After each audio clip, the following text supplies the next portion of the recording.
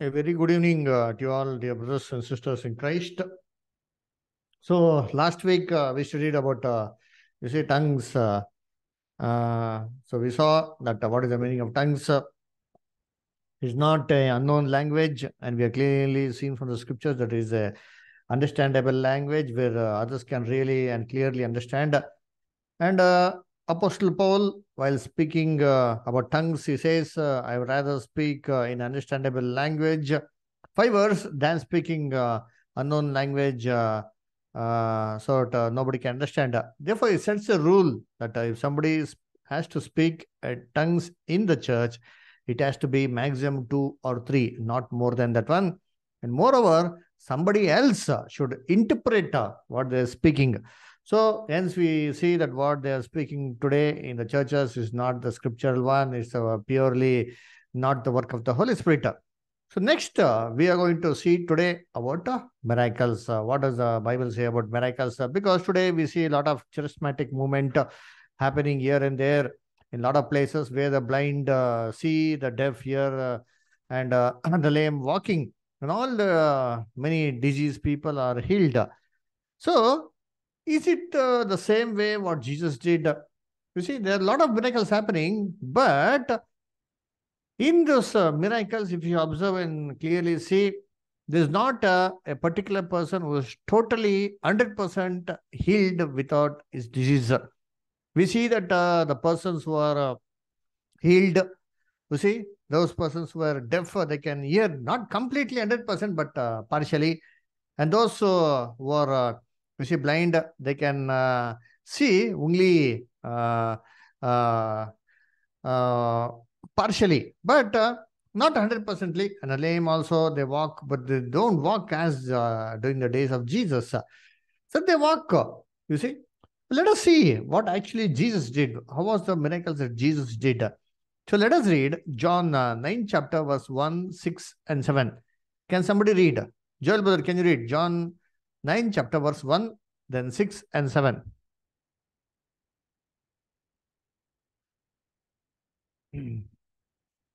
John 9 chapter verses 1 and later on 6 and 7. okay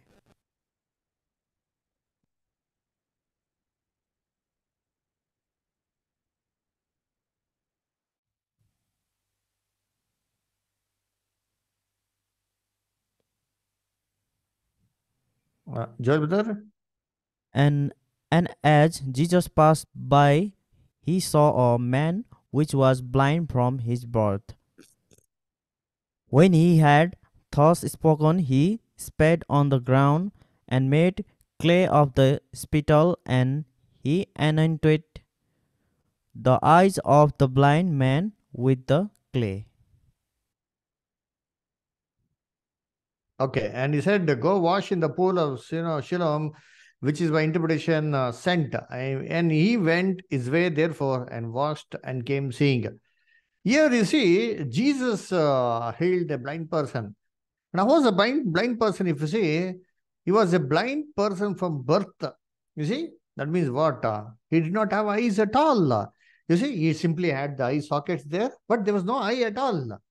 And later, what did Jesus do? Jesus took the clay, you see, and uh, mixed it with his uh, spittle, and uh, you see, he completely covered uh, his eyes. You see, the one born blind, usually they don't have these eye sockets. The eye sockets are empty. They don't have eyes at all.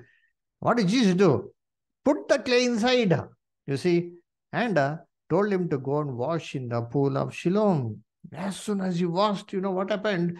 Immediately the eyes began to grow before everybody. And he came seeing this is the miracle that Jesus did, healing the born blind. Now, today, are such miracles happening? Are the born blind healed?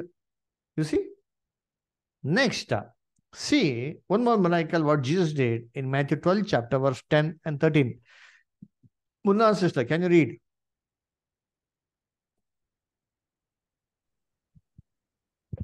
And behold, there was a man which had his hand withered, and they asked him, saying, Is it lawful to heal on the Sabbath days, that they might excuse him. 13 Then saith he to the man, Stretch forth thine hand. And he stretched it forth, and it was restored whole, like as the other. See, here we see a man with a withered hand. Withered hand means what? It not have the hand completely at all. See, those people will be having the hands only till here. The fingers will be here. You see, you can see in that, that photo is also not so clear. Okay, that is the withered hand. You see, and Jesus, as soon as he prayed, what does the scripture say? He says, you see, he told to stretch forth uh, your hand. And as you stretch forth, what happened? Uh, that hand began to grow similarly as the other hand. That's what is case, the scripture says. And he stretched forth and it was restored whole like as the other. So one was short, other was lengthy. Now, as soon as Jesus prayed in front of everybody, you see, the hand began to grow. Now, does these type of miracles happen today? One more miracle, what Jesus did in Luke 13, chapter 11 to 13. Uh, who can read? Roman sister Amber, brother, are you comfortable reading? Is it possible for you to read? You can read. Or else we'll tell somebody to read. I'll read, brother. And behold, there was a woman which had a spirit of infirmity, uh, 18 years, 18 years, and was bound together and could in no wise lift up herself. And when Jesus saw her, uh, he called her to him and said unto her, Woman, thou art loosed from thine infir infirmity. And he laid his hand on her, and immediately she was made straight and glorified God.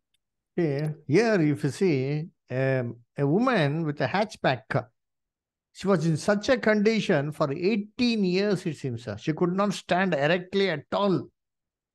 But as soon as Jesus prayed, what happened? Immediately on the spot, she began to stand completely. But today, you see, uh, when the miracles happen, the people tell that, oh, okay, okay, I'm getting, I'm getting, I'm getting. She will stand partially, but uh, they won't be healed 100% but then they will they will say okay i'm okay okay but again if you see and go and meet them that uh, same problem will be there uh, there will be improved little bit uh, not 100% as it was during the days of jesus and one more miracle we all know we are quite familiar with this one a woman had a blood flow you see continuously for how many years 12 years you see let us read that one what happened Matthew 9 chapter verses 20 to 22. Matthew 9 chapter verses 20 to 22. Uh, Roshni sister. Roshni sister, come on brother. Can you read? Is it possible for you to read?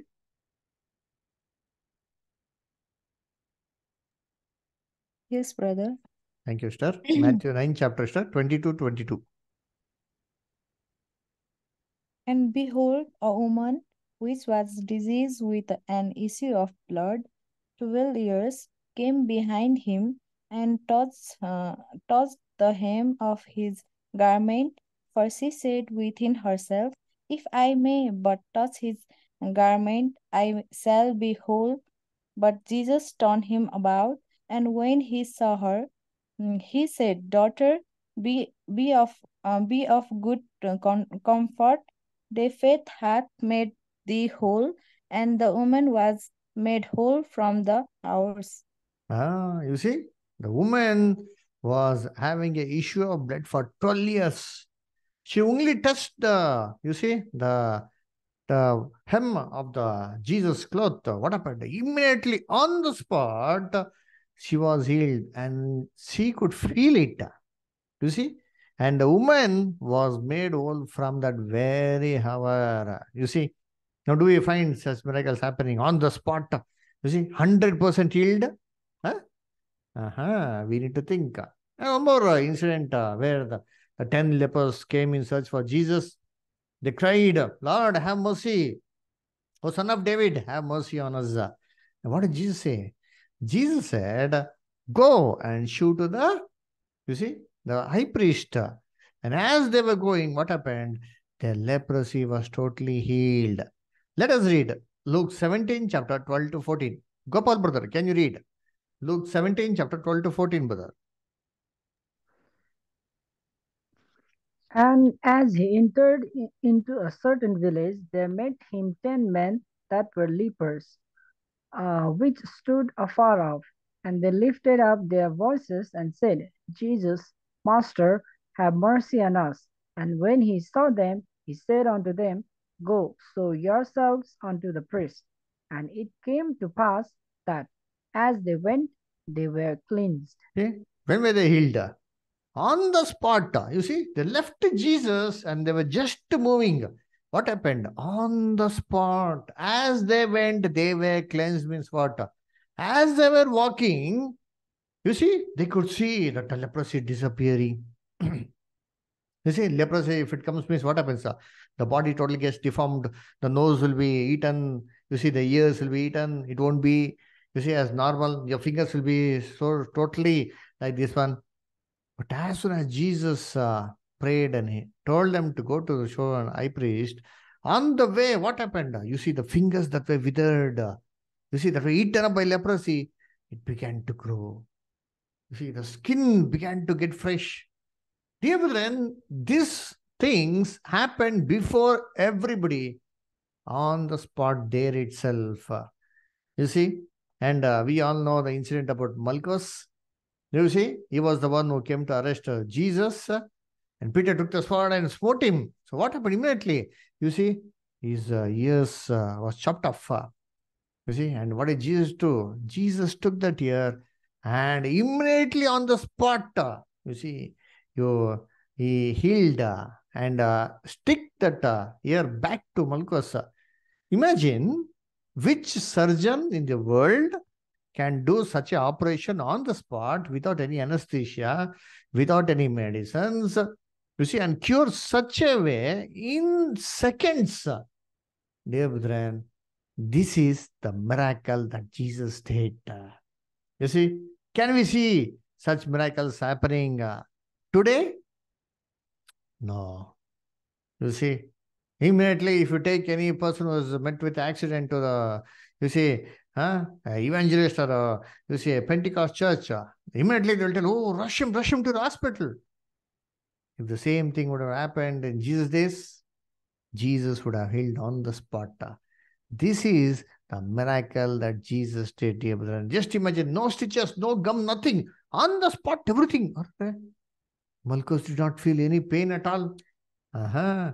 This is the miracle. And how did uh, Jesus uh, uh, heal the dumb? uh, You see? And the deaf. uh, You see? He put his finger uh, in his mouth. What happened? Uh, The deaf began to speak. How did they speak? Did they speak partially? Uh, uh, uh, uh, uh, wow, okay, okay. Ah, I am able to speak. Oh, okay. They did not speak like that. Clearly, clear cut. You see, the speech was very clear. That is the way Jesus healed. You can read that one in Mark 7, chapter 32 to 35. You can uh, note it down. You see, and uh, what happened? He touched his tongue, and looking into heaven, he signed and said unto him, Ephphatha, that is, be opened. And straightway his ears were opened, and the string of his tongue was loosed. And he spoke plain. Underline it, dear brethren. He spoke very clearly, it seems. He did not speak like a small child, uh, partially. Okay, no. He spoke very clearly. Everybody was shocked whether he was dumb or not. In such a way, he spoke, dear brethren. uh, You see, but today, you see, lot of miracles happen. But does it happen like this one? You see, does it uh, 100% cure is there? No. You see, there will be improvement, uh, light improvement, but not uh, 100%. Uh, You see, cure, no 100% remedy. And moreover, you see, uh, the crowd will be so much, uh, that uh, thousands, thousands, lakhs of people will be gathering there. But uh, uh, will all be healed? Huh? No, not all will be healed. Uh, only few people will be healed. Huh? You see, isn't it? Oh, not all the people will be healed. When we ask uh, why not all the people are healed, what is the reply they give? They tell, no, they don't have faith. That is the reason they are not healed. Only those who have faith, only those will be healed. Now, Jesus, did he heal only those who had faith on him? You see? No. Once there was a man, you see, his child was uh, uh, demon possessed. And he came to Jesus, uh, Lord, have mercy on my son, please. What did Jesus say? If you believe it will happen. The father could not believe it, uh, but it he said, Lord, I want to believe it, uh, but I'm not able to do it, uh, Lord. Now, what did Jesus say at that time? Did Jesus say, No, go, first increase your faith, next meeting you come, I'll again come, then we will heal you? No, Jesus, you see, to increase his faith, healed on the spot. Read Mark 9, chapter 23 and 24. Joel brother, can you read Mark 9, chapter 23 and 24? Jesus said unto him, If thou canst believe, all things are possible to him that believeth. And straightway the father of the child cried out and said with tears, Lord, I believe, help thou mine unbelief. You see, help thou my unbelief. Jesus helped him. He never said, you Come again next time. No, brother, that is the way. You see, why don't you pray for your faith? You see, you, you you're a you're a prophet, you know everything, no? So when you know that people the people are coming, the, so many people don't have faith, why don't you give a speech to increase their faith? And uh, once the faith has increased, we can do the miracles. No, you see. And moreover, imagine to such uh, big uh, meetings, so much of gathering people, will they come without faith? Eh? They travel mm, so many kilometers. They bring the ailing son, parents, children. Why? Faith. If I go, it will be healed. That is faith. What is Jesus? How much faith you should be having? It should be only like small, like a mustard seed, not very big, like a mountain. brethren. This small faith, if you have, that is sufficient, uh, dear brethren. But simply people will tell they don't have faith. Without faith, will they stay till night, uh, sitting on the ground without food? uh, huh? That is faith, dear brethren. And moreover, did uh, how many persons did Jesus heal? Huh? Jesus has had meetings, but how many people did Jesus heal? uh? Let us see what does the Bible say. Uh, Matthew 4 chapter 23 to 24. Munna sister, can you read Matthew 4 chapter 23 to 24?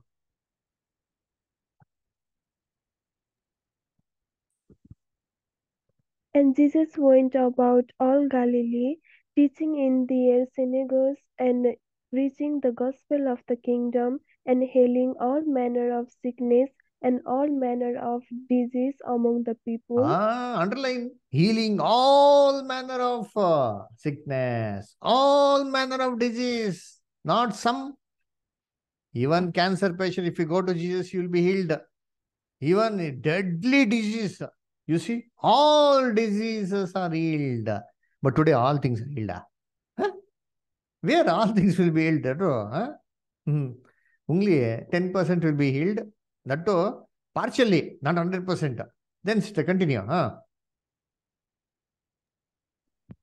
And Jesus and his and his fame went throughout all Syria, and they brought unto him all sick people that were taken with divers diseases and torment, and those which were possessed with devils, and those which were lunatic, and those that had the palsy, and he healed them. See, they brought unto him all the sick. Entire sick people of the city were at the doorstep of Jesus, and Jesus healed everybody. Not only few, he did not call from the crowd, Oh, I know this person has come from very far. Please come. God has called you. No, Jesus said, Stand in the queue, everybody please come. You see? Read Matthew 8 16. Matthew 8:16. Uh, Rome sister or Amar brother? Can you read Matthew 8:16?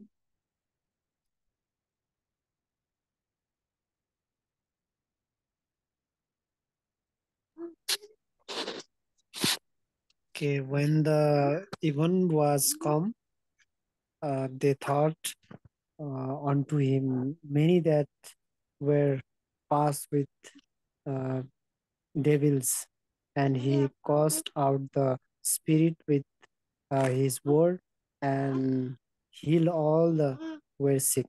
They healed all that were sick. You see, that is the miracles that Jesus did. Everybody were healed, dear brethren. You see, let us read Mark first chapter 32 to 34. So Jesus spent the entire night uh, healing everybody. Mark first chapter 32 to 34. Uh, Rosie sister, can you read? Okay, brother. And at even when the sun did set, they brought up to him all that were diseased and them that were possessed with devils, and all the city was gathered together at the door, and he healed many that were sick of divers disease, and cast out many devils, and suffered not the devils to speak, because they knew him. You see, entire city. He healed everybody. Therefore, the miracles of Jesus were there. You see, but today, there are a lot of big, big meetings happening, but only lots of people come, lot of offerings are collected, but uh, it is called as fasting and prayer. You see, nobody gives food for the poor. You see, they would have traveled so much of uh, distance uh, with hunger. They would be waiting to seek the blessings of the Lord. You see, they would tell that simply it is fasting and prayer. But what did Jesus do? Jesus also organized meetings, but it was feasting and prayer. He fed the 4,000 people, he fed the 5,000 people. That is the difference between Jesus's, uh, you see, uh, meetings and other meetings. uh. So, there's a lot of difference, dear brethren, from the miracles which uh, happened uh, during, uh, you see, the days of Jesus and what miracles are happening uh, today. So, if he, many people uh, tell that, no, brother, Jesus said that those who believe on me will do greater miracles than me. Let us read John 14, 12. John 14, chapter 12, verse. Uh, Kamal, brother, you there?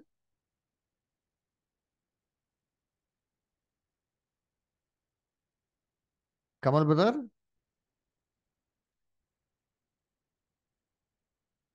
Okay. Uh, Romy sister, can you read John 14, 12?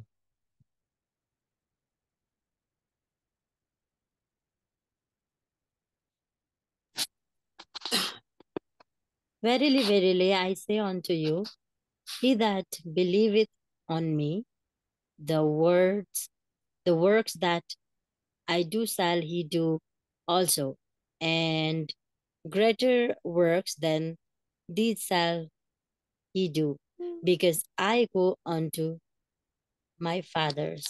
What did Jesus say? Jesus said, He that believes on me shall do greater works than me. Now, which is the greatest miracle that Jesus ever did? uh? You see, if you say it is raising up the dead, Jesus raised three persons back to life Lazarus, you see, and uh, uh, a widow's son, you see, and uh, one more uh, girl. So, three miracles what Jesus did about rising from the dead that is the greatest of all the miracles. Now you can tell me, can somebody do any greater miracle than what Jesus did than raising somebody from the dead? You see, yes, there is one miracle that uh, Jesus did not do. And that is the greatest miracle which Jesus has told all the disciples to do. You know, which is that one? So Jesus healed uh, everybody. Jesus gave eyes to the blind, you see, ears to the deaf, you see, and the mouth to the dumb, you see, and alive to the dead. But did Jesus ever open somebody's eyes of understanding? Did Jesus ever open somebody's ears of understanding? No. No. Jesus said, He that has ears, let him hear. He that has eyes, let him see. Jesus never opened anybody's eyes or ears of understanding spiritually, so they may understand the you see word of God. And this is the greatest miracle which Jesus did not do during his days, but he has appointed his disciples to do it. Therefore, he said, Go and preach to the ends of the world. You see, and make disciples, not convert. Make disciples of Jesus. You see, this is the greatest miracle which our disciples has to do. Let us read, you see, Ephesians 1.18. See, Jesus never opened somebody's eyes of understanding, but the apostles did. Ephesians 1.18.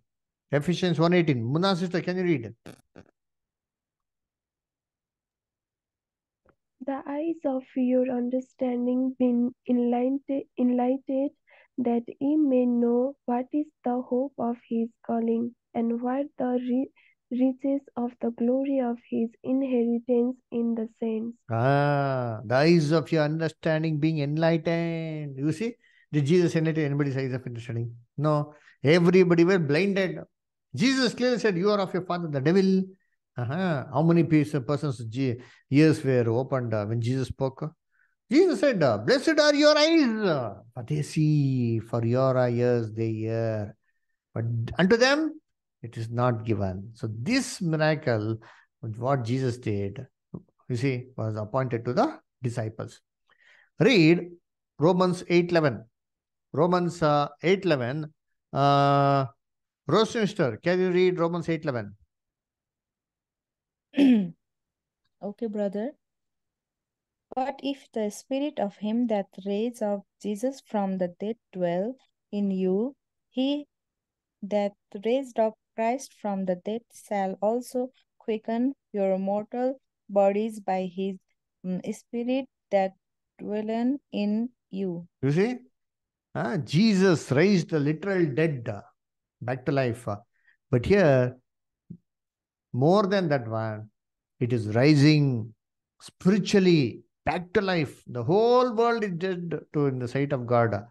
But after accepting Christ, uh, walking in his path, uh, and trying to live day-to-day life in his path, this is the greatest miracle that is appointed to the disciples to do. This miracle has to be done. How many people do this miracle? You tell me. You see, bring them from false to the truth and tell them to walk and guide them and motivate them and encourage them to walk and be like Christ. What did the Apostle Paul say? I labor, you see, in such a way as a woman travaileth in pain, so that Christ may be formed in you. That was the pain and uh, you see, and the burden which Apostle Paul had. This is the miracle. Read Matthew 26 18. Matthew 26 18. Romy sister, can you read Matthew 26 18?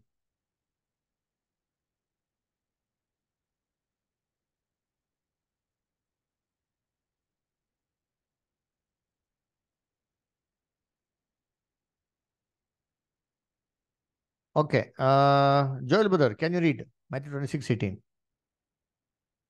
Matthew or Acts, brother? Oh, sorry, Acts 26 18. Please forgive. Okay. To open their eyes and to turn them from darkness to light and from the power of Satan unto God, that they may receive forgiveness of sin and inheritance among them which are sanctified by faith that is in me. See, clearly it says to open their eyes and to turn them from darkness to light and from power of Satan unto God. This is the miracle which is given to the disciples to do. The. This has to be done, you see. And uh, huh? let us see the life of Jesus. See, Jesus was the one who did miracles for the entire city. Everybody he healed. You see, God heard his prayer every time. But what did he pray in Garden of Gethsemane? Father, if it be thy will, you see, let this cup pass away from me. Yet not my will, but let uh, thine will be done. Read Matthew 26 39. Uh, sister, can you read Matthew 26 39? And he went a little far, father and fell on his face and prayed, saying, O my father, if it be possible, let this cup pass from me. Nevertheless, not as I will, but as thou wilt. Hmm. Nevertheless, not as I will, but as thou will. Did Jesus pray selfishly for himself? Ever did he pray? No, dear. You see, and uh, what did Apostle uh, Paul do? Apostle Paul was so powerful, he was so filled with Holy Spirit that uh, if his handkerchief was placed uh, on a sick person, he would be totally healed. It's given in uh, Acts 19, chapter 11 to 12. He had so much power in his kerchief, in his clothes. Then imagine Apostle Paul, how great he should be. Let us read uh, Acts 19, chapter 11 and 12. Uh, Romy sister, you're there? Or Amar brother, you're there? Acts 19, 11 and 12, can you read?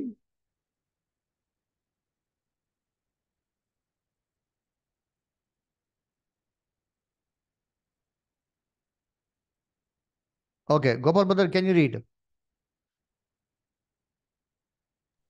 Acts 19, verse 11, 11 and and 12. 12. Mm. And God wrought special miracles by the hands of Paul, so that from his body were brought unto the sick handkerchiefs or aprons, and the diseases departed from them, and the evil spirits went out of them. You see? So everybody were healed. Evil spirits went out from him. Great miracles God did through Apostle Paul. Then Apostle Paul, how much powerful he should be. Then he should be having no disease at all now. But read what Apostle Paul says about himself. Second Corinthians 12 chapter 7 to 10. Uh, Joel brother, can you read? Second Corinthians 12 chapter 7 to 10.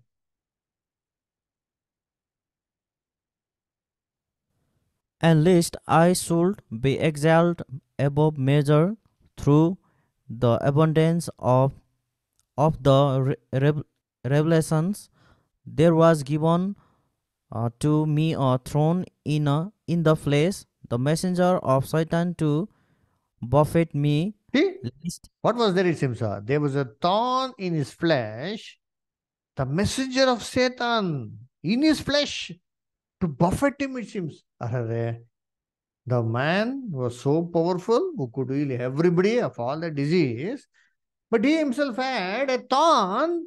That was the Satan in his flesh, it seems. uh, To buffet him, to provoke him. Next, continue with her. huh? lest I should be exalted above measure. For these things I bought the Lord thrice that I might uh, depart from me.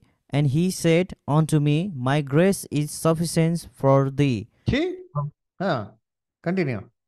for my strength is made perfect, perfect in weakness. Most Ah. gladly, therefore, will I rather glorify in my inf- infirmities, that the power of Christ may rest upon me. See? Therefore, What does he say? Apostle Paul prayed to the Lord so that God may take away this uh, infirmity, this thorn from his flesh.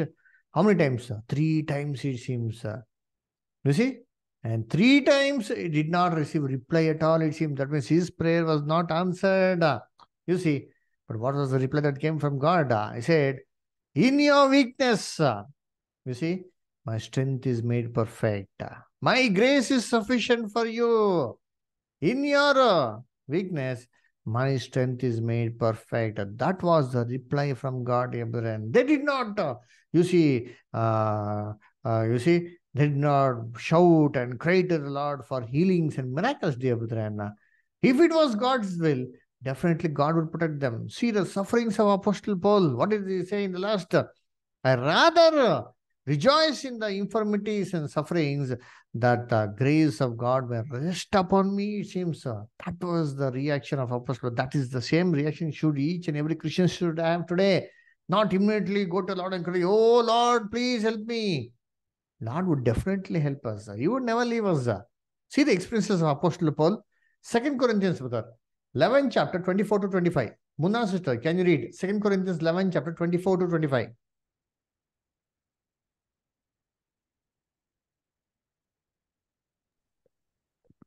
Of the Jews, five times receive I forty stripes, save one. Ah, one minister. One, one by one, we'll see.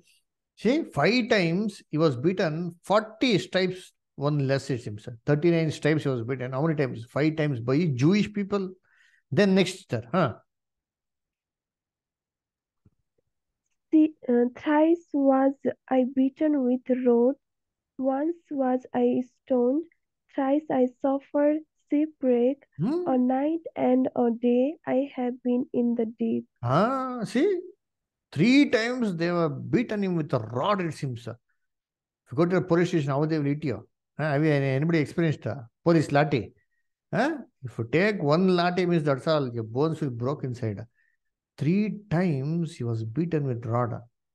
And once he was beaten with the stone such a way that uh, the person thought that he's dead and left him. You see? But uh, Apostle Paul came and did the Lord's work. uh, you see? And uh, the ship uh, in which he was going, it was shipwrecked. How many times? Uh? Three times, uh, dear brethren. Imagine if we have the same experience in our life, will we still believe in Jesus? uh? If the government people, if the police people will come to our house and if they hit us three times, what will we do? Fourth time, we won't turn this side at all. We will uh, just walk away. We'll pretend as if we don't know any brothers and sisters. We're not even Christian at all. Uh-huh. But Apostle Paul, you see how many times he was beaten. Everybody stoned him, thought that he's dead. The ship he was growing, going, what happened? It was shipwrecked how many times? Three times. Imagine if you're going for a Lord's work, something happened means what will think, oh, it is a bad omen, oh, God is guiding us not to go. We will immediately return. Apostle Paul was not like that, shipwrecked. And he spent a, a day and the night in the midst of the sea. Since read, sister, read that verse again. A day and night, huh? I spent in the deep. Read that verse again. Thrice was I beaten with rods. Once was I stoned. Thrice I suffered shipwreck. A night and a day I have been in the deep. Eh, Night and day I have been in the deep. Have you gone to the beach? Huh? Does Nepal have any beach? Huh? Seashore is there in Nepal? No, No. So you would never experience beach. You come to India, lot of beaches are there. You know how the waves will come? Rushing. As the sun keeps on setting, the waves increase. You see, the police won't allow you to stay in the beach at all. Imagine to staying in the beach itself, it's not so easy. You see, to the gushing sound itself, your heart will start beating very rapidly. But Apostle Paul spent a day and night where? Not on the seashore, on the sea. His ship was wrecked. Imagine, dear brethren, the condition of the sea, how tumultuous it will be. Entire ship is wrecked, but still is there living in the middle of the sea, a day and night. What Apostle Paul would have cried, Lord, would have cried, uh, beating his heart, always shouting, jumping, crying. That was the faith, dear brethren. This is how God's children should be. So many faithful Christians were killed and slaughtered in various ways. They were crucified upside down. They were chopped off. Their heads were beheaded. They were thrown to live animals. You see, wild animals. Their children were smashed in before in front of their eyes. They were burnt as stake, dear brethren. Many of the Christians sang wonderful songs during those times. Dear brethren, in all these things, they surrendered themselves to the Lord's will. You see, and how uh, when in all these things, none of them prayed a selfish prayer only for them, seeking for blessings, miracles, money, wealth. You see, what did Jesus say? Don't worry about all these things. What you should eat, what you should drink. Don't think much about it. All those things, your father knows that you should be having all those things. He will definitely give you. What did Jesus say? First seek ye the kingdom of God and his righteousness. Everything shall be given unto you. So this is the first thing God's children should be there. Matthew 6. Matthew 6 sister. Uh, Roshni sister, can you read Matthew 6 chapter, verse 31 to 33. Roshni sister, Matthew 6 chapter, 31 to 33. Can you read? Matthew 6 chapter. Verses 31 to 33. okay, brother. Therefore, take no thought, saying, What shall we eat, or what shall we drink, or wherewithal shall we be clothed? Hmm. This is the this is the worldly thought now. This is what we think every day. Oh, what we shall eat, what will happen to our future, what we'll wear, where shall we eat, where shall we stay, which shall be our house. This is everybody's tension in this world. What is Jesus' reply? Huh? 32. For all, for after all these things to do, the uh, the Gentiles seek for your heavenly Father knoweth that ye have uh, need of all these things. See, all these things are sought by whom? Gentiles, unbelievers. It's the worldly people. After becoming Christian, if you seek the same thing, then what is the difference between us and unbelievers? No difference at all. Everything is the same. What does Jesus say? God knows that you are in need of all these things. So your needs shall be definitely be fulfilled by God. He is our Father. Imagine uh, if a child is there in your house, you see, uh, Lulia is there. Imagine if Lulia grows, uh, uh, comes to the age of six years, uh, she'll start going to school. Then uh, shall we keep on worrying? Ayo, tomorrow I should pay electricity bill. Ayo, day after tomorrow I should pay rent. Ayo, then I should pay school fees, van fees, take uniform. She'll be worry about all these things. She won't worry at all. Joyfully, she will go to school, enjoy, and come to the home. She won't worry about all these things. Why? Because she has faith that her father, her mother knows the, that uh, she has need of all these things. So they will take care. So it is our responsibility. Just simply go and study and come. This should be our faith also. Our Father, who is the creator of this world, you see, each and every star, each and everything is belonging to Him. He is the emperor. He is the owner of all these things. If He wants us to give anything, He can give like this. But He will give us only that which is necessary. Imagine, Lulia, can our parents can give everything, but will they give? What is necessary? Only those things will be given to them. But uh, they won't be having any deficiency. You see, they won't be having any wants. Their wants will be fulfilled as per the needs by their parents. Similarly, it is with us. Continue, sir. Verse 33. What did Jesus say? Huh? But seek ye first the kingdom of God and his righteousness, and all these things shall be added unto you. Okay. Our duty is to seek the kingdom of God and, and his righteousness.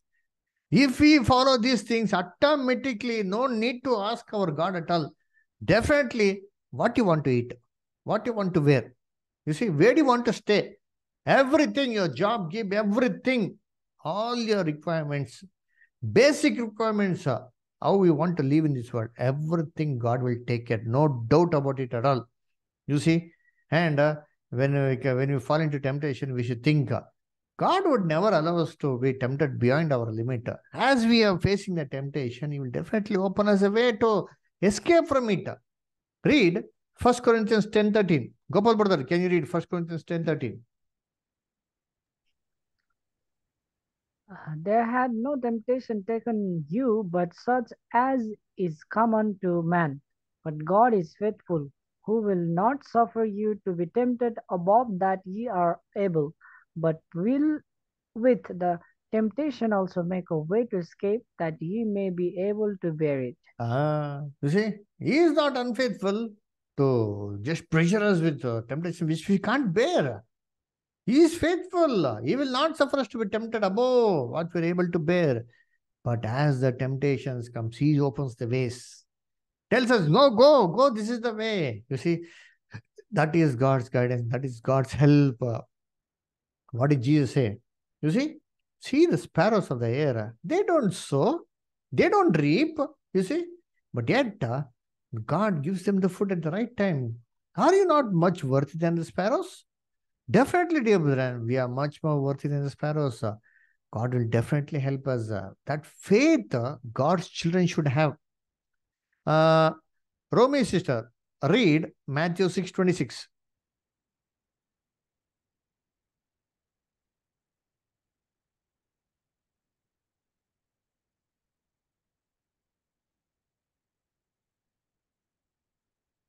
Uh, okay, read sister.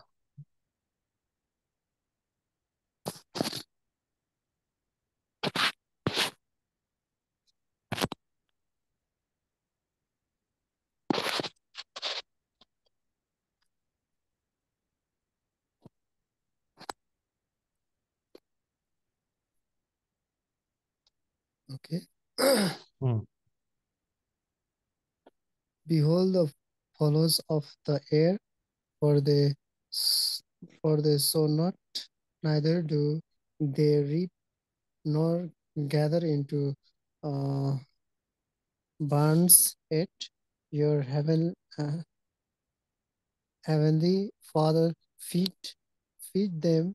Um, are they not much better than they? See, are we not much better than a, What did Jesus say? Even the very hairs of a head are numbered. See, read Matthew ten thirty. Amar brother, read this one also. Matthew ten thirty.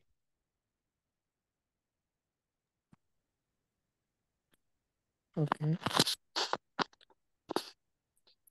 But the very hairs of your head are all numbers. See, even our hairs are numbered. Daily we comb, how much hair falls, no? Do we really worry that our hairs are falling? No. But yet, Jesus monitors all these things, means even small things which we don't care, which we don't worry, our God cares about it. He is monitoring each and everything. So we should have faith on God. That's the reason in Hebrews 13 5 it says, "Hey, Let your speech be without covetousness. uh." You see, always trying to squeeze, squeeze, squeeze, get.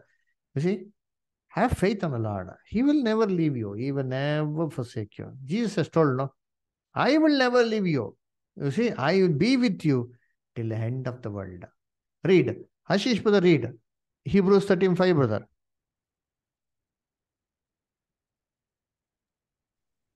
Let your conversation be without covetousness, and be content with such things as you have. For he had never said, for he had said, sorry, I will never leave thee nor forsake thee. Okay? For has said, I will never leave thee nor forsake thee.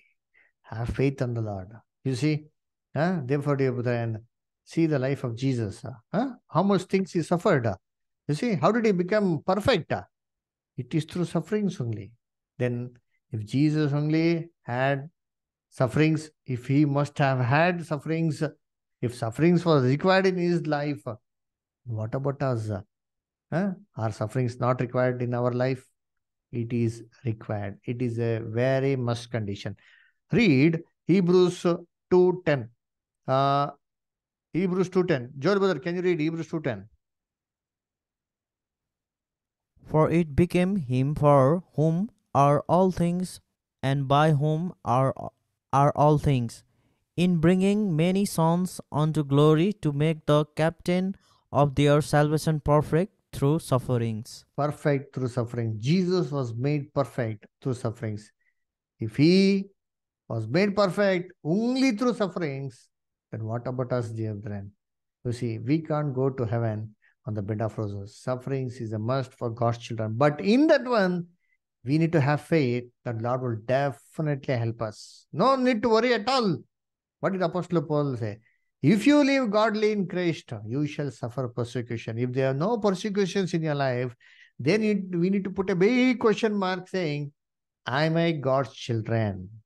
You see, sufferings on a part of a Christian is a sign that we are God's children. So this is about miracles. Next, prophecy. Prophecy means what? You see, huh? telling about our future. Oh, you are there. Tomorrow, such and such thing will happen in your life. Future, you will be like this one. All these things, no? Huh? You see, many people think that uh, this is prophecy. Dear brother, if this is the prophecy, then what is the difference between uh, the roadside uh, people, the other religion people who tell prophecy about uh, future tomorrow? Yeah? Future forecast, uh, astrology, astronomy. What is the difference between them and uh, this prophecy? Only the words change, but everything is the same, no? Huh? Read the so many prophecies are there in the Bible. Did any of the prophet tell any particular thing about any individual? See in the Bible, everybody are prophesied about a nation, about a group, not about any individuals. they- Only about Jesus is mentioned. You see, but today everybody are behind this future forecast. You see, what did God say? He clearly condemned uh, listening to the forecast and the future. You see, God did not allow the people of Israel to do this one. Instead of uh, knowing uh, these prophecies about our life, we should study so many prophecies in the Bible. Jeremiah prophecy is there, Isaiah is there, Ezekiel is there, Revelation is there. Full book of prophets only. Huh? When do we learn all these things? uh? Moreover, what does the Bible say about a true prophecy? You see, the true prophecy is telling about Jesus, not telling about our own self.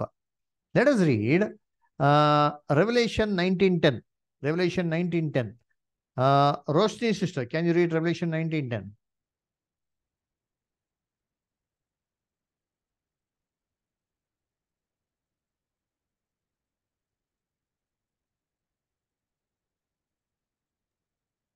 And I fell and I fell at his feet to worship him.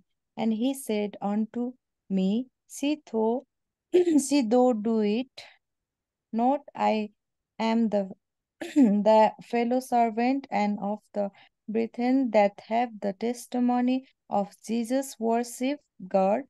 For the testimony of Jesus is the spirit of prophecy. Ah, for the testimony of Jesus is the spirit of prophecy. You see? What is spirit of prophecy? Testimony about Jesus, not testimony about self. You see? Telling about Jesus. uh, You know what is one? Actually, telling about the kingdom. You see? Telling about the kingdom. God has made a beautiful plan. He has told a prophecy of all human beings, uh, not for one day, not for one month or one year. He has told the prophecy for thousand years. Where is that prophecy spoken in any of the churches? None of these things are spoken at all. And moreover, even if they tell prophecy also, nothing is fulfilled these days. Only whatever they tell, only 20%, 30% is fulfilled. You see, so those are not the prophecies which are related in the Bible. Next, visions. You see, visions, dreams. Everybody thinks that God is speaking through us, visions, dreams, and all. Huh? Why? Because they tell in Joel, the verse is given. When the Holy Spirit is poured, they will, uh, you see, huh? see visions. They will see dreams. So let us read that verse also. Joel, second chapter, 28, 29. Uh, Gopal brother, can you read Joel, second chapter, 28 and 29? And it shall come to pass afterward that I will pour out my spirit uh, upon all flesh, and your sons and your daughters shall prophesy, your old men shall dream dreams, your young men shall see visions, and also upon the servants and upon the handmaids in those days will I pour out my spirit. So everybody based on this verse, and it tells uh, once the Holy Spirit comes, they will see dreams, prophecy, visions, and all.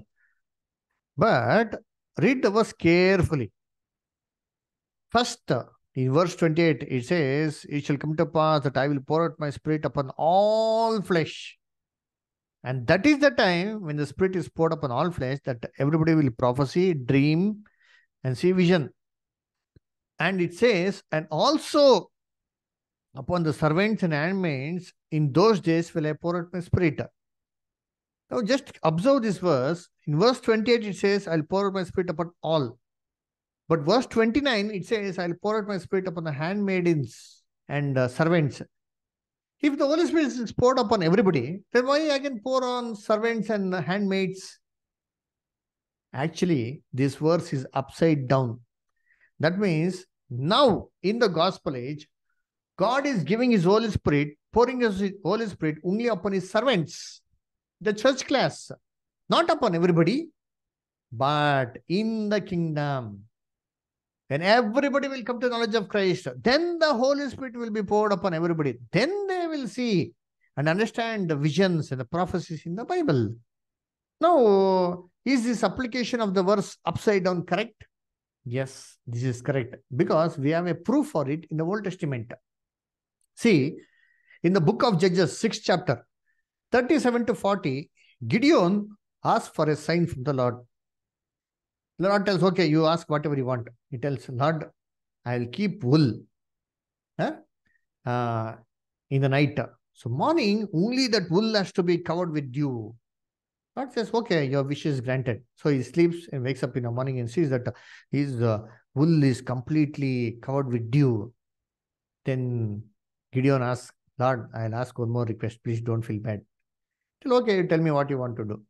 Lord, tomorrow I'll keep the same you see, wool. But uh, today, the wool should be dry, but all the land should be totally wet with dew. The same thing happens. This is a sign of the Holy Spirit. In the Bible, dew means Holy Spirit. Psalm 133 3. Okay? So, snow, dew, all these things represent the Holy Spirit. Now, the Holy Spirit is given only on the wool, the servant class, the church class. But in the kingdom, when the church won't be there, you see, only the ground will be there. The ground, the people, the world, they will be anointed with the Holy Spirit. Let us read this verse in Judges 6 chapter 37 to 40. Joel brother, can you read Judges 6 chapter 37 to 40? Okay, brother.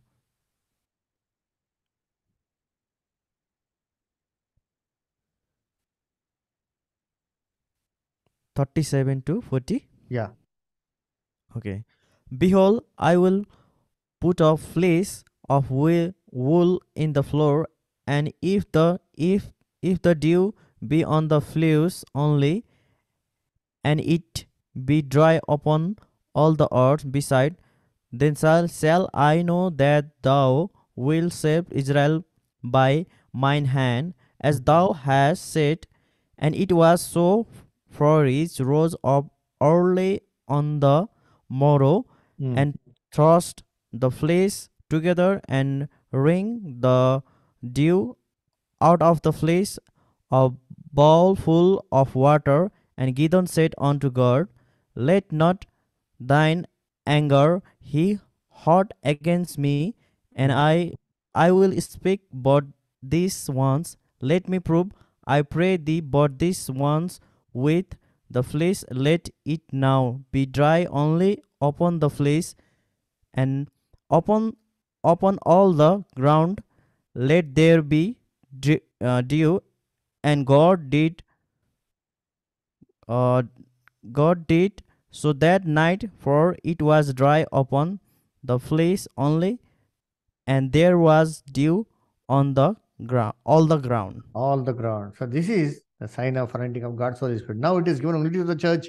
In the thousand years, it will be given to the whole world. Then, whatever is written in the Bible, they will see literally in front of their eyes as visions and dreams being fulfilled. Hence, dear brethren, all the miracles, all the prophecies, all the visions and dreams, and all the tongues and miracles, what is happening today? It is completely the counterfeit work of the devil because he knows that we are living in the very last days and Jesus is uh, coming and to destroy his kingdom, to establish his kingdom. And this time, the Bible says that Satan will do duplicate miracles. Read Matthew 12 26. Matthew 12 26. Uh, Roshni sister, can you read Matthew 12 26?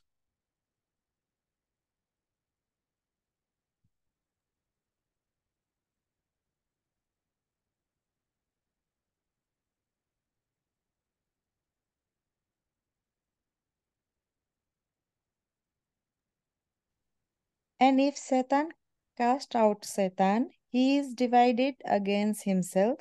How shall then his kingdom stand? See, if Satan is dividing against, uh, uh, if Satan is casting out Satan, then it is a clear sign that his kingdom is divided. Then his kingdom is not standing. We are living in a days where Jesus is establishing his kingdom on this earth by smiting all these worldly empires. About this, we will read very clearly in the coming classes. So this is a clear sign that it is a Satan who is doing all these miracles. Apostle Paul also clearly warns that in the last days, you see, these counterfeit miracles will be done by the devil to deceive God's children. Let us read Second Thessalonians, second chapter, 8 to 12. Uh, Muna sister, can you read Second Thessalonians, second chapter, verses 8 to 12? And then shall that wicked be revealed, whom the Lord shall consume with the spirit of his mouth, and shall destroy with the brightness of his coming. Even him whose coming is after the working of Satan Ah, with see, all power. observe it clearly. Concentrate, everybody. See, who's coming? Jesus is coming. Is when after the working of Satan with all power. Ah, continue, sir. And sign and lying wonders, See, signs and lying wonders. Ah, and with all deceive, deceivableness of unrighteousness in them that perish, because they receive not the love of the truth, that they might be saved. And for and for this cause God shall send them a strong delusion that they should believe a lie, hmm, hmm. that they all might be damned who believed not the truth, but had pleasure in unrighteousness. Ah, see, it is Satan who is doing it with all power, signs and lying wonders, with all deceivableness and unrighteousness. To whom? To whom does it happen? It happens to the people who don't love the truth, who don't want to. They say, listen more about God's word. Only to them all these things will happen. You see somebody coming and speaking. You see seeing visions. You see dreams. This will happen only to the devil's children, not God's children at all. That's clearly given. Who are there? These are the people who don't have heart to listen God's words, who don't want the truth, who want to believe the lie. If you want to believe the lie, God permits them to believe a lie. These are the brethren. So now what all things are happening, we should be very careful.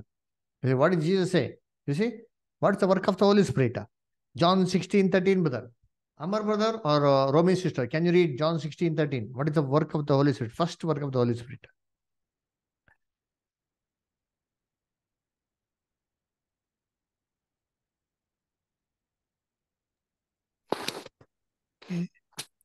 Howbeit, when he the when uh, the Spirit of truth is come, he will guide you into all truth. Ah, see, his- this is the first work of the Holy Spirit. When the Holy Spirit comes, it will guide you into, into all truth. Not that it will grow miracles, uh, you see, healings. No, no wonders. sir. It will guide you into all truth. Is these things are there? Those who believe that or claim that all these things, miracles are done by God, ah, is the truth is there with them. Do they believe that the soul die? Do they believe that the hell is a place of, uh, you see, a grave? No. Do they believe that uh, God is only one? No. You see, so many false doctrines, dear brethren. uh, but these things has to be carefully understood. uh, uh, They are conducting the Lord's memorial daily, weekly, monthly. This is God's will. uh, That's God's Holy Spirit. You see? So therefore, the Bible clearly says, those who don't follow as per the Bible, it is a clear sign that there is no Holy Spirit in them at all. Isaiah 820. Isaiah 820. Uh, Gopal brother, can you read?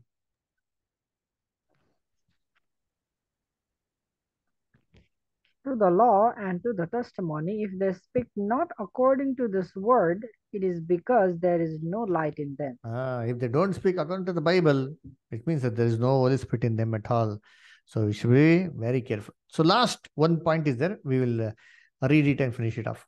Where, where is that given? It is given in Mark 16 chapter 15 to 18. Joel brother, can you read? Mark 16 chapter verses 15 to 18. Slowly, one by one, we'll see and go. Ah. And he said unto them, Go ye into all the world and preach the gospel to every creature. He had believed uh, and is baptized shall be saved, but he that believe, believeth not shall be damned. And this sign shall follow them that believe in my name. In my name shall they cast out devils. They shall speak with new tongues. They shall take of serpents, and if they drink drink any deadly things, it shall not hurt them. They shall lay hands on the sick, and they shall recover. Ah, see, if they drink deadly thing, nothing will happen. You see, ah, if they take serpents, nothing will happen to them. You see, huh? nothing will hurt them, it seems. ah? If they lay their hands on the sick, immediately it will be healed, it seems. Okay, pa. Let us take this thing like that only. Okay, now you're all Christians now, everybody. Ashish brother, Gopal brother, Joel, Munna sister, Romi sister, Amar brother, Roshni, Kamal, everybody are Christians now? Yes or no? Yes, brother. Yes. Bro- Yes, brother. Oh, only four. Okay. Rest of them are Christians. Okay, no problem. Okay, now today we'll prove, we'll test and see whether you are Christians or not. What you do, you take one poison, drink it. Okay, brother, drink it and see what will happen. Let us see. If you are a Christian, you will you will be saved. You won't die. Nothing will happen. That's what the Bible says. Okay. But if you die, it is a clear proof that you don't have Holy Spirit, you're not a Christian. Shall we do the test?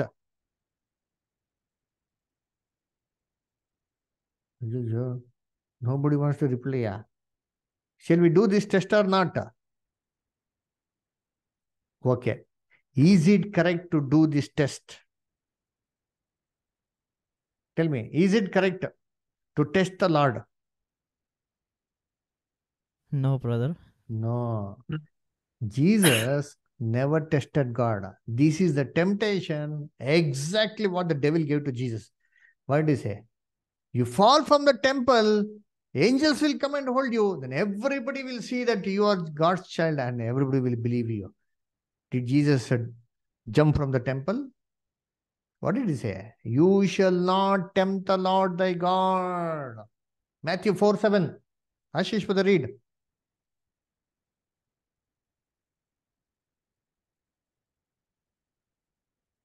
Okay, Gopal brother read.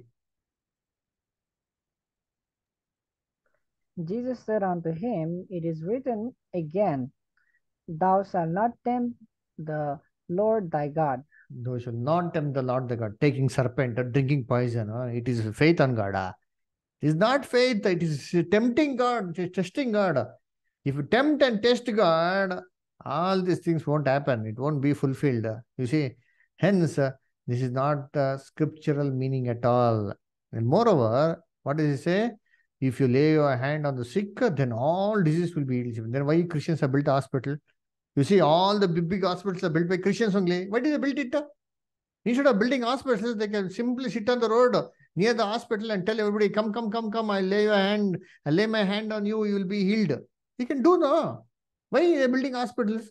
See, in the world, whole world, majority of the great hospitals are Christians only. Huh?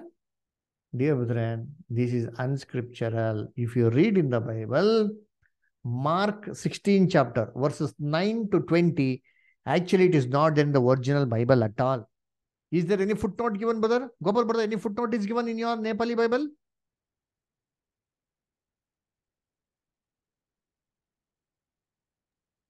Wait, brother, let me check.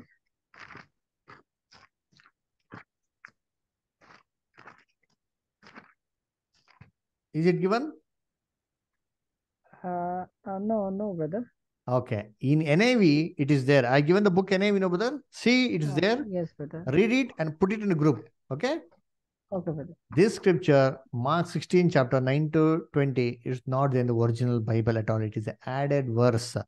Hence, dear brethren, the only sign which God has given us, and it, Jesus himself said, it will be the sign of Jonah. You see, our faith should be on the word of God than all these uh, outward demonstrations. You see, why? Because scriptures is sufficient for us. to make a calling election sure. Last this verse we'll read. Uh, Roshni sister, please read 2 Timothy 3rd chapter 16 and 17.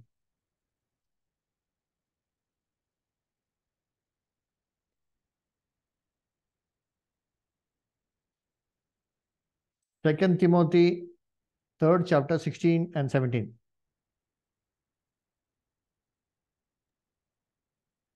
The scripture is given by inspiration of God and is the profitable for doctrine, for reproof, for correction, for instruction in right in righteousness, that the man of God may be perfect, truly uh, furnished up to all go- good works. That the man of God. The word of God is given why? That the man of God may be perfect. If you want to become perfect, only Bible is sufficient. Thoroughly furnished to all good works. Definitely, dear brethren. So let us have faith on the Lord, you see, and trust on the Lord that He will definitely do us good. Okay. So please uh, read the notes. Uh, I'll be sending the YouTube link also. Any doubts, any questions anybody is having, you can ask.